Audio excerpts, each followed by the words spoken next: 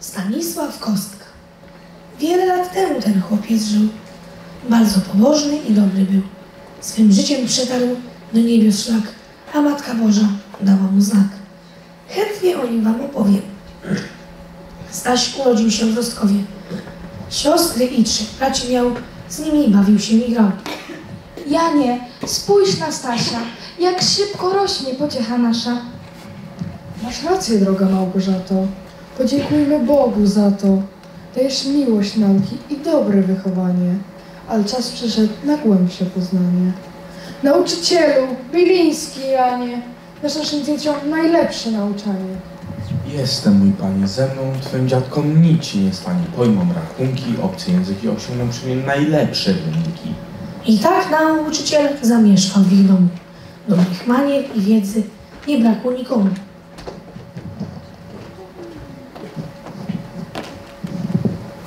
Panie Boże, dziękuję Ci za to, że bardzo dobry i mądry mój tato. Cierpliwa, serdeczna jest moja mama. O Bogu mi prawi od samego rana. Czas 14 lat życia Stasia upłynął. Przyszła pora, by pożegnać się z rodziną. Pawle, Stasiu, nasi kochani synowie, chodźcie, tata wam coś powie. Na uwadze wasze dobro i szczęście mamy. Dlatego was do szkoły, do Wiednia wysyłamy.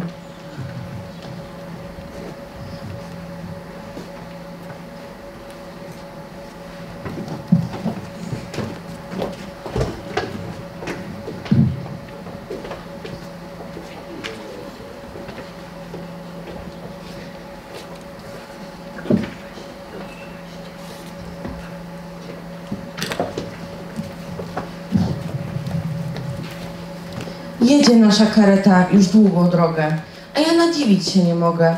Panie Boże, jaki cudny stworzyłeś ten świat. Podziwiam piękno przyrody i majestat tat.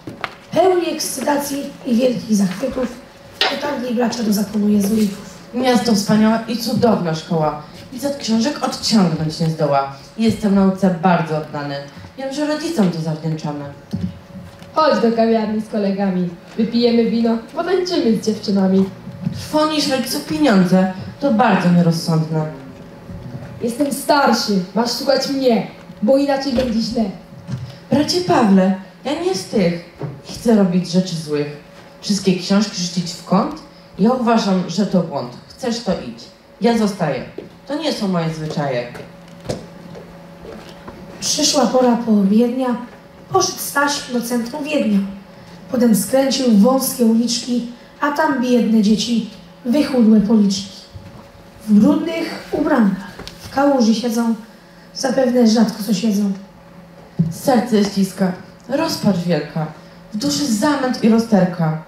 Ja mam wszystko za młodu, a tu dzieci cierpią z głodu. Wyjmę kieszonkowe swoje, nie dopiję i nie dojem. To niewiele, to namiastka, ale kupię bułki ciastka.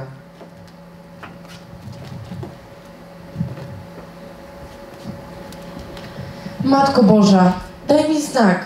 Jak mam postępować? Jak? Co mam robić, Panie Boże? Proszę, niech mi ktoś pomoże.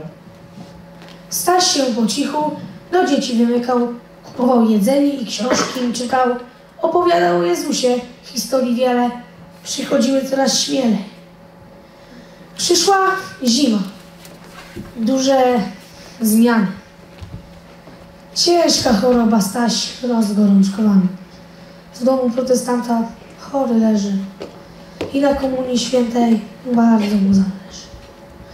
Marzy o tym, że się wyspowiada, ale właściciel na wizytę katolickiego księdza się nie zgadza. Paweł rozkłada ręce i jest rozpaczony, widząc jak cierpi. Staś wycieńczony, nic mu się zrobić nie udaje, ale nagle cud się staje. Ogromna wiara, Staśnej modlitwa żadliwa sprawia, że święta Barbara w noc się pojawia. Przynosi sakrament święty i Stasiu już uśmiechnięty. Szybko wraca życie i zdrowie, a chłopcu chodzą takie myśli po głowie. Czego chce Jezus ode mnie? Po co żyje? Jak jest w niebie? Powiem Ci coś w zaufaniu, gdy leżałem chory w posłaniu. W delikatnych światła błyskach. Matka Boża do mnie przyszła. Na rękach małego Jezusa trzymała. Uśmiechnęła się i mi go podała. Powiedziała, że choroba jest mi dana, bym znalazł odpowiedzi na własne pytania. Długo o tym myślałem, aż się wreszcie przekonałem. Zostanę jezuickim zakonnikiem. Postanowiłem i taką przysięgę Maryi złożyłem. Ale co ja powiem bratu? Co on na to? Na pewno sprzeciwi się i tato. Krwawi moje serce. Jestem w wielkiej rozterce. Nie, nie chcę innej życia wizji i nie zmienię swej decyzji. Niestety, nie udało się z wiedeńskim klasztorem. Staś spotkał się tam z oborem. Wszyscy śpią, a ja ruszam w drogę. Nic powiedzieć im nie mogę. Do Niemiec, do Augsburga. Idę sam. Wiem, że opiekę Bożą mam. Ich historia była taka, że napotkał Staś żebraka. Widzę, że zniszczone twe ubranie. Dam ci swoje, zamień się na nie. Długo znosisz trudy znoje. Bardzo chętnie dam ci swoje.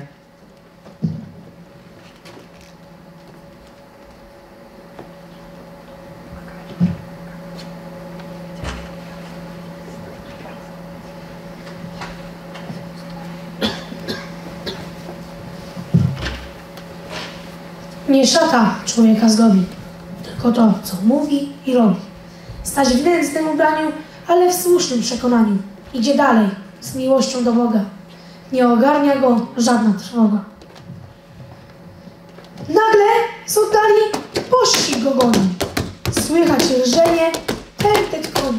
To Paweł, nie z wędrowca ubogiego, nie rozpoznał nim brata swego. Bratu, ujawnić się nie mogę. Ruszam z Bogiem w dalszą drogę. Ja, dumny syn szlacheckiego rodu, wyciągam rękę, jak żebrak z głodu.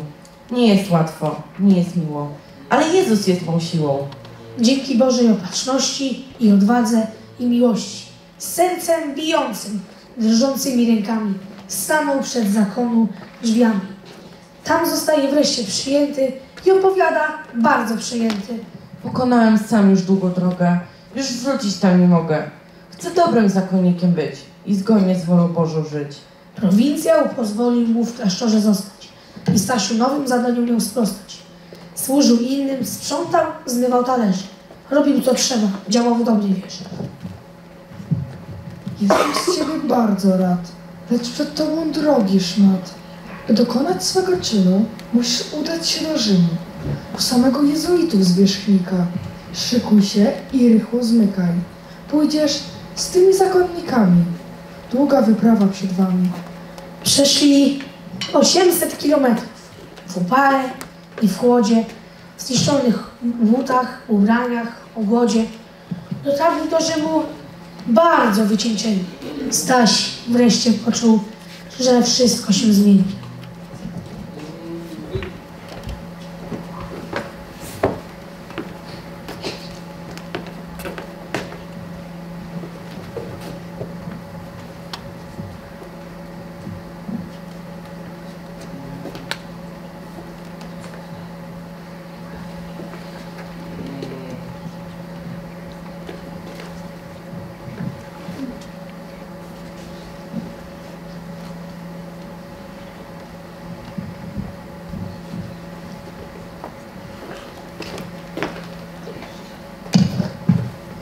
Nareszcie wspaniałą wiadomość dostałem. Nowicjuszem, zakonnikiem zostałem.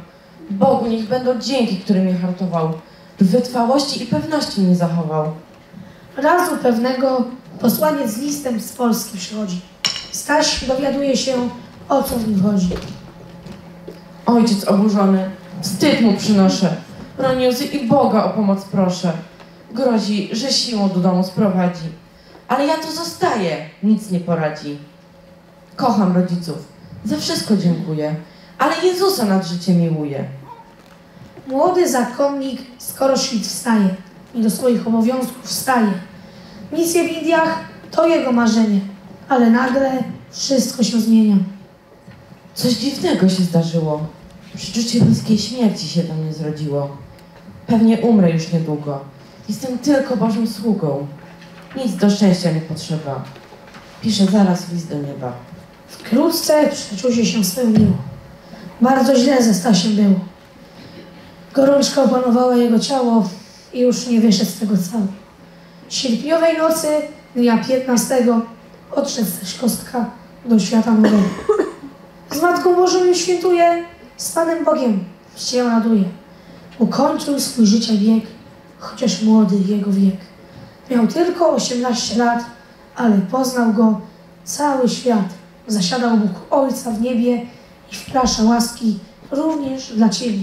Na pomoc ludziom i ojczyźnie w niebiosach wierzy.